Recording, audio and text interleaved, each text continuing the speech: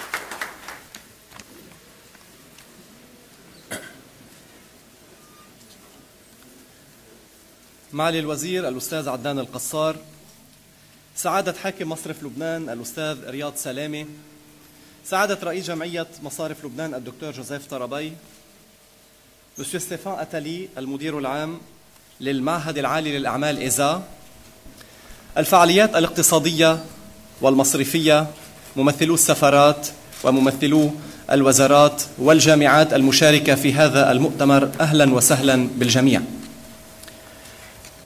يبدو أن تنظيم عمل المصارف عمل لا ينتهي.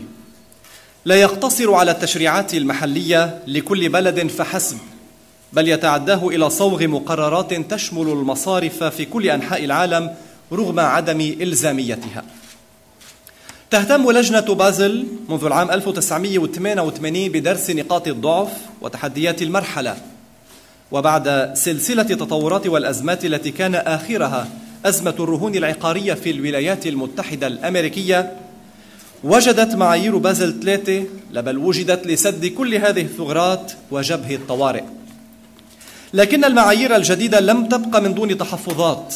من بعض الخبراء الذين يخشون تأثير خفض الإقراض سلبا على النمو الاقتصادي. أما واضعو الاتفاق ومعهم خبراء آخرون فيهدفون من المقررات إلى منع المصارف من الانهيار والإفلاس. بازل الثلاثة لم تأتي من دون عدم بل من رحم أزمة بدأت أمريكية وتحولت عالمية. من أزمة بدأت مصرفية وتحولت اقتصادية.